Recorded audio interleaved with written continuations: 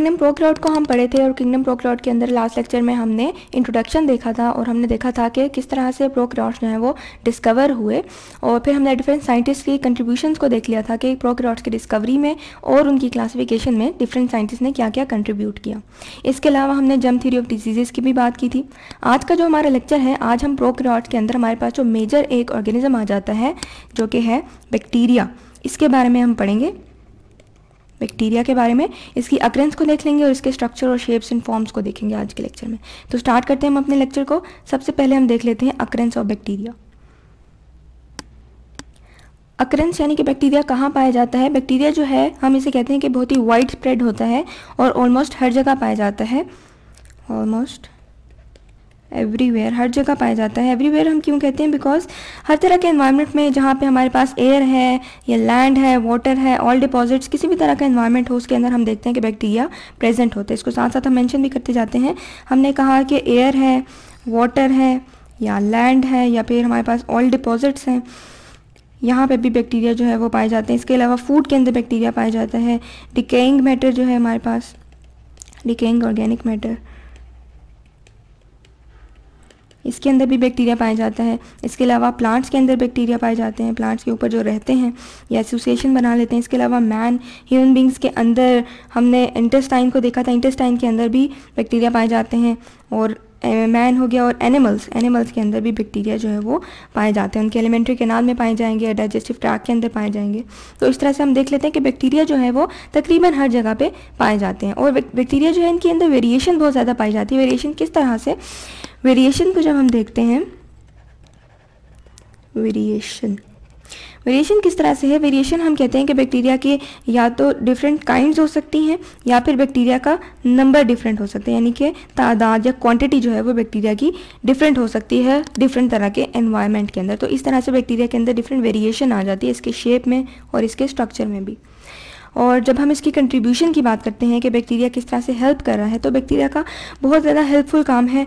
अगर हम human beings के अंदर देखें तो ह्यूमन बींग्स की डाइजेशन के अंदर बैक्टीरिया हेल्पफुल रोल के अपना किरदार अदा करता है। इसी तरह अगर हम दुनिया की बात करें कंट्रीब्यूशन इन नेचुरल वर्ल्ड बात करें तो हम कहते हैं कि नेचुरल फोना जो हमारे पास है। नेचुरल फौना यानी कि पूरी दुनिया के अंदर हमें जितनी भी ग्रीनरी नज़र आ रही है, या जितने भी प्लांट्स हैं हमारे पूरी दुनिया के अंदर, उसके अंदर भी बैक्टीरिया कंट्रीब्यूट कर रहा है। वो किस तरह से कि वो डिके करता है डेड ऑर्गेनिक मैटर को? गलने, सड़ने में हेल्प करता है और इस तरह से क्या होता है कि नेचर के अंदर जितने भी साइकिल्स हैं, वो रन होते रहते हैं इजीली तो इस तरह से हमने देख लिया कि बैक्टीरिया जिस तरह वो हेल्प कर रहे हैं नेचुरल फोना में। अच्छा कुछ बैक्टीरिया जो है, वो स्पेसिफिक एनवायरनमेंट्स के अंदर पाए जाते हैं और कुछ ऐसे होते हैं जो हर तरह के इन्वायरमेंट में सर्वाइव कर जाते हैं। अब स्पेसिफिक एनवायरमेंट वाले कौन से बैक्टीरिया हैं? स्पेसिफिक इन्वायरमेंट की जब हम बात करें तो हम कहते हैं कि कुछ ऐसे बैक्टीरिया हैं जो कि हॉट स्प्रिंग्स में पाए जाते हैं। हॉट स्प्रिंग्स मतलब कि गर्म चश्मे जो हैं। कुछ एल्कलाइन या एसिडिक सॉइल में पाए जाएँगे। अल्कलाइन या एसिडिक सॉइल के अंदर कुछ बैक्टीरिया पाए जाएँगे। इसके अलावा कुछ सेलाइन एनवायरनमेंट में, यानी कि सॉल्टी एनवायरनमेंट जो होगा हाईली सेलाइन एनवायरनमेंट तो इनके अंदर भी कुछ खास बैक्टीरिया जो कि सिर्फ़ इस तरह के इन्वायरमेंट में सर्वाइव करता है। इसके अलावा कुछ ऐसे बैक्टीरिया हैं जो कि पोल्यूशन के अंदर, यानी कि हाईली पोल्यूटेड सॉइल हमारे पास अगर हो, या पोल्यूटेड वाटर हमारे पास हो। हाईली पोल्यूटेड सॉइल या वाटर तो इस तरह के एनवायरनमेंट के अंदर कुछ बैक्टीरिया जो है वो पाए जाते हैं। तो इस तरह से हमने देख लिया कि बैक्टीरिया वाकई वाइड स्प्रेड इसकी जो अक्रंस है, हर तरह हर तरह के एनवायरनमेंट में तकरीबन हर जगह पे ये पाए जाते हैं। यानी कि गर्म से गर्म तरीन चश्मों की बात करें या फिर हम ग्लेशियर्स की बात करें या फिर अगर हम लैंड की बात करें हैं वाटर की करें हैं एयर की भी करें, तकरीबन हर एनवायरनमेंट में बैक्टीरिया जो है वो पाया जाता है। तो ये हमने देख लिया इसकी अक्रेंस को। इसके बाद हम आ जाते हैं बैक्टीरिया के स्ट्रक्चर के ऊपर कि बैक्टीरिया का स्ट्रक्चर किस तरह से होता है। अच्छा बैक्टीरिया हम जानते हैं क्योंकि प्रोक्लॉट में आता है तो प्रोक्लॉट में इनके प्रोक्रोटिक सेल होता है। प्रो क्रियोटिक सेल और प्रोक्रियोटिक सेल के अंदर हम जानते हैं कि मेम्ब्रेन बाउंडेड ऑर्गेनेलिस नहीं पाई जाती, ठीक है? यही वजह है कि बैक्टीरिया का जो सेल है, उसके अंदर कुछ खास ऑर्गेनेलिस हैं जो पाई जाएँगी और कुछ ऐसी होंगी जो कि नहीं होंगी। वो कौन सी ऑर्गेनेलिस हैं जो हर बैक्टीरिया सेल के अंदर होती हैं, उनके अंदर हमारे पास आ जाते हैं। एक तो सेल मेम्ब्रेन सेल मेम्ब्रेन हर बैक्टीरिया के सेल के बाहर ज़रूर होगी, ठीक है? इसके अलावा साइटोप्लाज्म और ribosomes ribosomes and chromatin body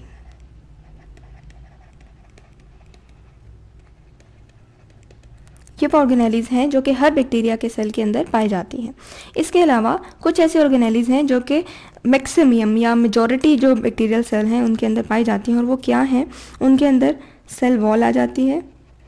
cell wall का क्या काम है? वो उसको एक शेप देती है, ठीक है? एक स्पेसिफिक शेप देती है। इसके अलावा कुछ ऐसे बैक्टीरिया हैं जिनके अंदर कुछ ऑर्गेनेलिस पाई जाएँगी और कुछ नहीं होंगी, ठीक है? सेल वॉल और फ्लैजिला ऐसे स्ट्रक्चर्स हैं जो कि मोस्टली बैक्टीरिया के अंदर पाए जाते हैं। फ्लैजिला ठीक है? अब कुछ स्पेसिफिक स्ट्रक्चर्स हैं जो कि ख़ास किस्म के बैक्टीरिया के अंदर ही पाए जाते हैं। और वो क्या है? उन स्ट्रक्चर्स में हमारे पास एक तो कैप्सूल आ जाता है स्लाइम आ जाता है फ्लैजिला है पिलाए फिम्ब्राए और ग्रैन्यूल्स ये कुछ स्ट्रक्चर्स ऐसे हैं जो कि कुछ ख़ास किस्म के बैक्टीरिया के अंदर ही होते हैं, हर बैक्टीरिया के अंदर नहीं पाए जाते।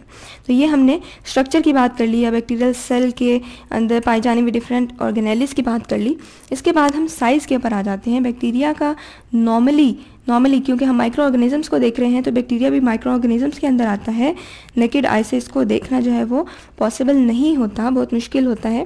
बैक्टीरिया का जो साइज़ है वो उसके अंदर वेरिएशन पाई जाती है। हम कहते हैं कि तकरीबन 0.1 माइक्रोमीटर से लेके हमारे पास 600 माइक्रोमीटर तक बैक्टीरिया का जो साइज़ है वो होता है। अब माइक्रोमीटर क्या होता है? माइक्रोमीटर आप जानते हैं कि मीटर्स की ही एक यूनिट है जिसके अंदर हम कहते हैं ten raise to power minus six आ जाता है। बट सिर्फ़ यही रेंज नहीं पाई जाती। इसके अलावा बैक्टीरिया के साइजेस के अंदर डिफरेंट तरह की वेरिएशन होती है और वो वेरिएशन जो है बैक्टीरिया की शेप्स की वजह से भी हो सकती है, क्योंकि हम जानते हैं कि बैक्टीरिया जो है वो डिफरेंट शेप्स में पाया जाता है। कुछ राउंड होते हैं, कुछ सिलेंड्रिकल होते हैं, कुछ स्पायरल्स के फॉर्म में होते हैं। इनको हम आगे मज़ीद डिटेल में देखेंगे। तो बिकॉज़ ऑफ़ देयर शेप्स अपनी शेप के हिसाब से इनका जो साइज़ है वो भी वेरी करता जाता है। फॉर एग्ज़ाम्पल हम कहते हैं कि जो स्मॉलेस्ट माइकोप्लाज्मा है हमारे पास स्मॉलेस्ट माइकोप्लाज्मा उसका जो साइज़ है, वो तकरीबन 100 से लेके 200 नैनोमीटर तक इसका जो डायमीटर है, वो होता है। ठीक है? अब नैनोमीटर आप जानते हैं कि मज़ीद और छोटी यूनिट है, जिसको हम कहते हैं ten raise to power minus nine तो ये इतना छोटा साइज़ होता है माइकोप्लाज्मा का। लेकिन हम इसके साथ साथ अगर स्ट्रेचिया कलाई को देखें स्ट्रेचिया कोलाई तो सच्चा कोलाई का जो साइज़ है वो हम जानते हैं कि 1.1 से लेके 1.5 1.1 से 1.5 माइक्रोमीटर तक इसका साइज़ होता है। ठीक है? यानी कि इसकी विड्थ इतनी होती है। विड्थ और अगर हम इसकी लेंथ की बात करें तो लेंथ इसकी तकरीबन 2.0 से 6.0 माइक्रोमीटर इसकी लेंथ होती है। ठीक है? तो यहाँ पे आप देख सकते हैं कि इसका साइज़ नस्बतन थोड़ा सा बड़ा है। इसी तरह कुछ और हमारे पास एग्जाम्पल्स आ जाती हैं, जैसे कि हम स्पायरोचीट्स को देखते हैं। स्पायरोचीट्स जो है, वो हमारे पास स्पायरल वाला बैक्टीरिया ठीक है? तो स्पायरोचीट्स जो हैं, इनकी साइज़ की जब हम बात करते हैं तो स्पायरोचीट्स तकरीबन हमारे पास 500 माइक्रोमीटर तक भी पाए जाते हैं, ठीक है? जबकि हम कोकस जो हमारे पास राउंड या स्फेरिकल बैक्टीरिया है, इनके साइज़ की बात करें तो हम कहते हैं कि इनके अंदर हमारे पास स्टेफाइलोकोकाई है। स्टेफाइलोकोकाई और इसके अलावा हमारे पास स्टेप्टोकोकाई स्ट्रेप्टो कोकाई ये दो फॉर्म्स हमारे पास कोकाई बैक्टीरिया की और इनका जो साइज़ है वो तकरीबन 0.75 से 1.25 माइक्रोमीटर तक पाया जाता है। तो और आप देख सकते हैं कि 0.1 माइक्रोमीटर से 600 माइक्रोमीटर तक इनकी रेंज जो है वो हमने देख ली डिफरेंट तरह के बैक्टीरिया में। तो यहाँ तो हमने देख लिया इसका साइज़ इसके बाद हम आ जाते हैं शेप्स ऑफ़ बैक्टीरिया जैसे कि हमने यहाँ पे तीन शेप्स की बात की. तो ओवरऑल हम देख लेते हैं कि बैक्टीरिया का जो साइज़ है वो पॉइंट वन से सिक्स हंड्रेड माइक्रोमीटर तक पाया जाता है. तो ये तो हमने इसकी साइज़ की बात कर ली. इसके बाद हम आ जाते हैं शेप्स ऑफ़ बैक्टीरिया पे. ठीक है? कि बैक्टीरिया किस तरह की शेप्स में पाया जाता है. जैसे कि हमने तीन शेप्स की भी बात की है. शेप्स ऑफ़ बैक्टीरिया अच्छा जैसे कि ऊपर हमने बात की कि बैक्टीरिया जो है वो थ्री मेजर शेप्स के अंदर पाया जाता है। इसको हम थ्री कैटेगरीज में डिवाइड कर देते हैं। थ्री कैटेगरीज और वो कौन कौन सी कैटेगरीज हैं? फ़र्स्ट पे हमारे पास आ जाता है कोकाय सेकंड हमारे पास आता है बेसिलाय और थर्ड पे हमारे पास है स्पायरल वन बाय वन हम इनको देखते जाते हैं। कुछ बैक्टीरिया जो है वो डिफरेंट फॉर्म्स में पाए जाते हैं। उनको हम कहते हैं पेलियोमॉर्फिक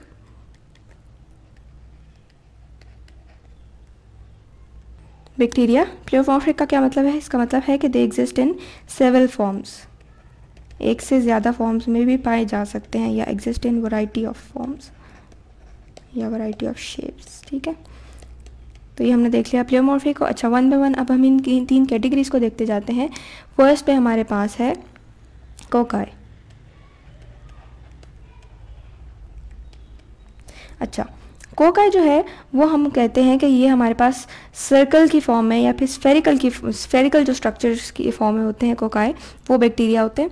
स्फेरिकल या ओवल हम इनको कह सकते हैं। इनकी डिफरेंट तरह की अरेंजमेंट पाई जाती है और अरेंजमेंट किस तरह से हो सकती है, वो इनके प्लेन ऑफ़ डिवीज़न के हिसाब से इनकी डिफरेंट अरेंजमेंट होती है।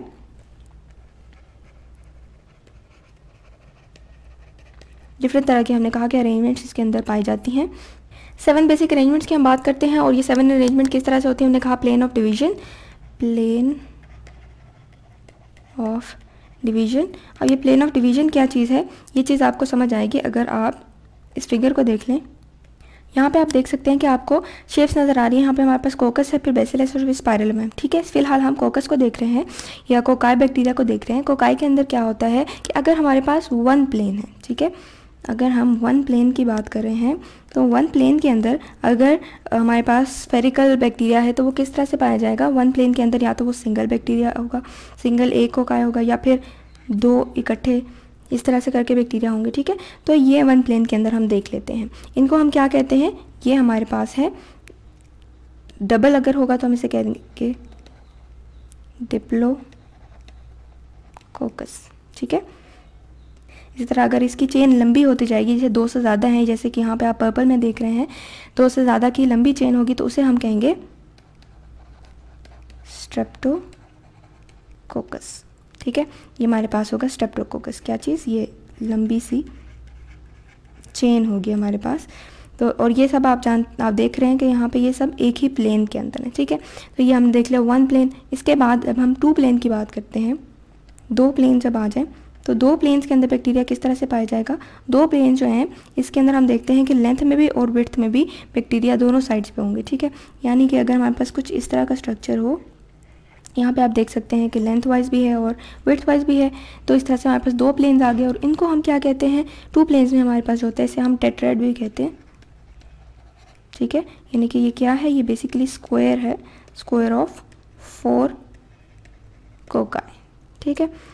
ये हमने देख लिया टू प्लेन्स को इसी तरह हमारे पास थ्री प्लेन्स में भी पाए जाते हैं बैक्टीरिया थ्री प्लेन्स और थ्री प्लेन्स में जब होंगे तो वो किस तरह का स्ट्रक्चर होगा उसे हम कहेंगे, वो हमारे पास बन जाएगा क्यूब ठीक है?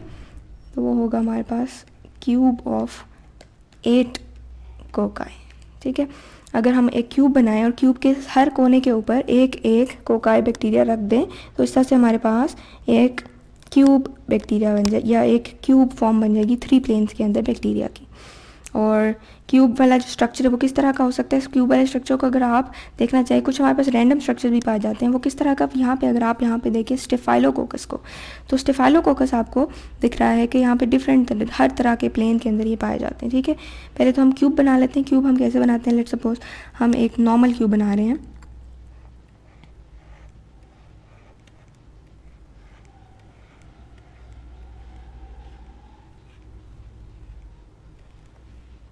अब इस क्यूब के हर कोने पे अगर हम एक एक बैक्टीरिया को रख दें, जैसे कि यहाँ पे यहाँ पे यहाँ पे यहाँ पे यहाँ पे यहाँ पे यहाँ पे यहाँ पे तो इस तरह का जो हमारे पास स्ट्रक्चर बन गया, ये हमारे पास क्यूब बन गया है एट कोकाई का, ठीक है? अब हमने बात की थी रैंडम की भी रैंडम क्या है? रैंडम प्लेन्स की जब हम बात करते हैं तो रैंडम प्लेन्स की एग्जांपल में हमने कहा कि हमारे पास आता है स्टेफाइलोकोकस को स्टेफाइलोकोकस ठीक है स्टेफाइलोकोकस की एग्जांपल अगर आप देखें, यहाँ पे आपको नज़र आ रहा है, एक अंगूर के गुच्छे की तरह का ग्रेप के बंच की तरह का हमारे पास स्ट्रक्चर होगा, इस तरह से, इस तरह से, इस तरह से हम ग्रेप को देखते हैं ना तो बस ऐसा ही समझ लें कि आप ग्रेप की टहनी को ख़त्म कर दें तो हमारे पास स्टेफाइलोकोकस बैक्टीरिया जो है वो बन जाएगा। अगर हम एग्ज़ाम्पल की बात करें कि ओवरऑल हमारे पास कोकाई बैक्टीरिया जो है, वो कौन कौन से बैक्टीरिया हैं जो कि कोकाई बैक्टीरिया पाए जाते हैं? एग्ज़ाम्पल्स तो एग्ज़ाम्पल्स के अंदर हमारे पास सबसे पहले तो एक आ जाएगा डिप्लोकोकस न्यूमोनाई डिप्लोकोकस न्यूमोनाई और ये क्या है? ये वो बैक्टीरिया है जो कि निमोनिया जो हमारे छोटे बच्चों के अंदर मोस्टली डिज़ीज़ हो जाती है रेस्पिरेटरी प्रॉब्लम है, ये हो जाता है, वो इस बैक्टीरिया की वजह से होता है, ठीक है? इसके अलावा एक और एग्जांपल है हमारे पास। स्टेफाइलोकोकस ऑरियस तो ये हमने देख ली दो एग्जांपल्स इसके बाद हम आ जाते हैं बेसिलाई के ऊपर। बेसिलाई जो है वो हमारे पास रॉड शेप बैक्टीरिया होता है। रॉड्स की फॉर्म में बैक्टीरिया जो है वो पाया जाता है, इस तरह से। और ये जो रॉड है, ये ये भी इसी तरह, जिस तरह से हमने कोकाई को देखा है, इसी तरह रॉड शेप बैक्टीरिया की भी डिफरेंट फॉर्म्स पाई जा सकती हैं। और वो फॉर्म्स भी प्लेन के हिसाब से हम उसको जब डिवाइड करते हैं तो हम डिफरेंट फॉर्म्स बना लेते हैं। हम कहते हैं कि अगर वन प्लेन हो, हमारे पास एक प्लेन होगा तो क्या होगा कि सिंगल प्लेन के अंदर जो बनेगा, उसे हम कहेंगे बेसिलस सिंपल हमारे पास जो बेसिलस कहलाता है। ठीक है? यानी एक जो हमारे पास सिंगल सेल ऑफ़ बैक्टीरिया है, वो बेसिलस कहलाता है, ठीक है? इसी तरह जब अगर हमारे पास एक ही प्लेन में दो बैक्टीरिया इस तरह से पाए जाएँगे, इस तरह तो इसको हम क्या कहेंगे? इसे हम कहेंगे डिप्लो बेसिलस डिप्लो बेसिलस और अगर हमारे पास लॉन्ग चेन होगी, इस तरह से डिफरेंट बैक्टीरिया आपस में जुड़े हुए होंगे लॉन्ग चेन में तो उसे हम क्या कहेंगे? उसे हम कहेंगे स्ट्रेप्टोबैसिलस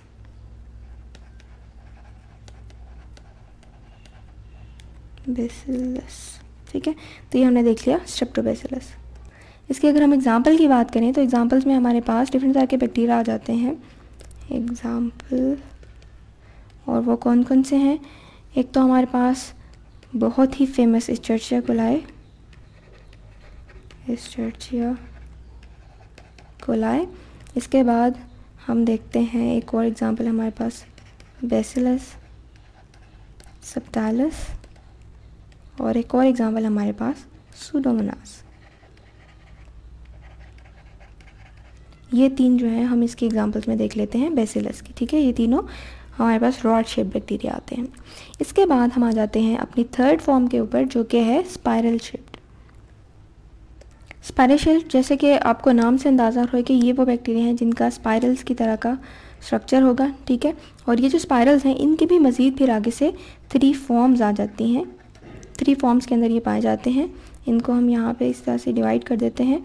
एक जो है वो हम कहलाता है, एक वो जो है वो कहलाता है वाइब्रियो दूसरा है, वो कहलाता है स्पायरलम और थर्ड जो फॉर्म है, वो कहलाती है स्पायरोचीट्स ठीक है? ये तीन हम देखते हैं कि इसकी फॉर्म्स होती हैं स्पाइरल बैक्टीरिया की। अब ये तीन फॉर्म जो है वो एक दूसरे से किस तरह से डिफरेंट हैं? सबसे पहले हमने देखा कि सबसे पहले लिखा हुआ है वाइब्रो ठीक है? वाइब्रो क्या है? ये कॉमा शेप बैक्टीरिया होता है। यानी कि इसका स्ट्रक्चर कुछ इस किस्म का होगा, ठीक है? इसे हम कहते हैं कॉमा शेप्ड बैक्टीरिया ठीक है? इसके बाद आ जाता है स्पायरलम स्पायरलम क्या है? स्पायरलम जो है, इसके अंदर इसका जो स्ट्रक्चर है, वो रिजिड और थिक स्ट्रक्चर होता है। इसलिए हम इसे कहते हैं कि ये रिजिड और थिक स्पायरल पे मुश्तमिल है इसका स्ट्रक्चर ठीक है? इसलिए हम इसे स्पायरलम कहते हैं। इसके बाद आ जाते हैं हमारे पास स्पायरोशीट्स और स्पायरोशीट क्या है? स्पायरोशीट जो है, वो थिन होता है, पतला होता है और फ्लेक्सिबल होता है। थिन एंड फ्लेक्सिबल स्पायरल इस तरह का जो स्ट्रक्चर होगा वो स्पायरोचीट होगा, ठीक है? और अगर हम इसके एग्जांपल की बात करें स्पायरल बैक्टीरिया की तो एग्जांपल्स के अंदर हमारे पास स्पायरल बैक्टीरिया में एक तो वाइब्रो आ जाता है। वाइब्रो इट्सेल्फ एक बैक्टीरिया का नाम है। इसके अलावा हमारे पास हाइफो माइक्रोबियम हाइफो माइक्रोबियम यह इसके एग्ज़ाम्पल में आ गया, ठीक है? तो ये हमने देख लिया। डिफरेंट शेप्स ऑफ़ बैक्टीरिया को। यहीं पे अपने लेक्चर को ख़त्म करते हैं। नेक्स्ट लेक्चर के अंदर हम डिटेल में बैक्टीरिया के जो हमने सेल स्ट्रक्चर की बात की थी, हमने डिफरेंट ऑर्गेनाइलिस को देखा था तो वो यहाँ पे, ये वाली जो ऑर्गेनाइलिस हैं, हम इनको वन बाई वन डिटेल में देखते जाएँगे अपने नेक्स्ट लेक्चर में। तो ये था हमारा आज का लेक्चर